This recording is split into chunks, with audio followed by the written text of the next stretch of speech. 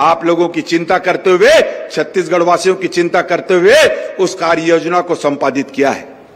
Line से मैं चार लाइनों में इसको गिना दूँ।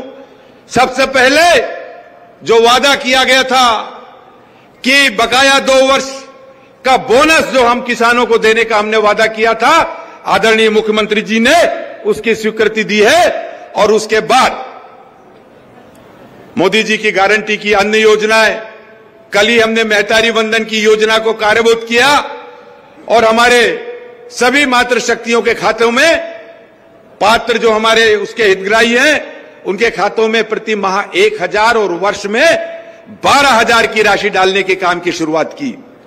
आज दो प्रमुख कार्यक्रम, जिसके अंतर्गत जो हमने वादा किया था कि भारतीय जनता पार्टी की सरकार बनने के बाद तीन हज़ार एक सौ रुपए में प्रति क्विंटल धान खरीदी करेंगे और जिसका समर्थन मूल्य आप लोगों के खाते में चला गया, लेकिन उसका नौ सौ सत्रह रुपए आज ही आज आप सभी पूरे छत्तीसगढ़ के 24 लाख से भी ज़्यादा किसानों को खाते में गया है। आज यहाँ पर हमारे तेंदुपत्ता संग्रह संग्राहकों की दृष्टि से चार हज़ार से पचपन सौ। ऐसा कार्य योजना आप सबके सामने और ये संचालित हो रहा है। एक और बात कहूँगा, उसके बाद आप लोगों से एक निवेदन करूँगा, अपनी बात को समाप्त करूँगा। मोदी जी की गारंटी, मोदी है तो मुमकिन है। हमारे देश के यशस्वी प्रधानमंत्री जी ने आप सभी गरीब परिवार हमारा जो छत्तीसगढ़ में है, पूरे देश में है, इनके लिए प्रधानमंत्री आवास की योजना पूरे देश में संचालित थी। पंद्रह वर्ष की हमारी भारतीय जनता पार्टी की डॉक्टर रमन सिंह जी के नेतृत्व में जो सरकार थी, उसमें यह कार्यक्रम संचालित हो रहा था।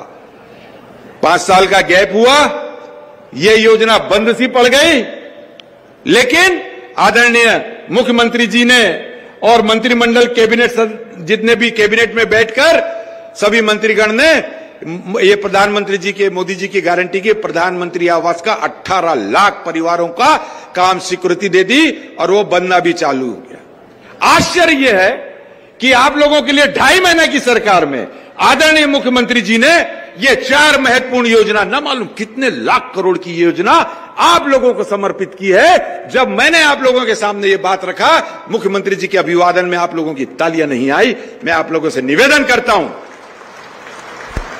ऐसी कोई भी सरकार नहीं होगी जो सिर्फ़ ढाई महीना में इतनी परोपकारी, इतनी कल्याणकारी योजनाओं को कार्यभूत कर सके। मैं आदरणीय मुख्यमंत्री जी को, हमारे मंच, सभी मंत्रियों को, मंत्री, वरिष्ठ मंत्रियों को, मैं बहुत बहुत साधुवाद देते हुए, आप सभी की शुभेच्छा करते हुए, आज का ये सफल कार्यक्रम, जिसमें तेंदुपत्ता संग्रह का कार्यक्रम रखा गया है, मैं बहुत बहुत बधाई देता हूँ, माननीय वन मंत्री जी को भी। इस व्रत कार्यक्रम के लिए आप सभी का अभिनंदन करते हुए अपने शब्द अपने वाणी को विराम देता हूँ। बोलिए, भारत माता की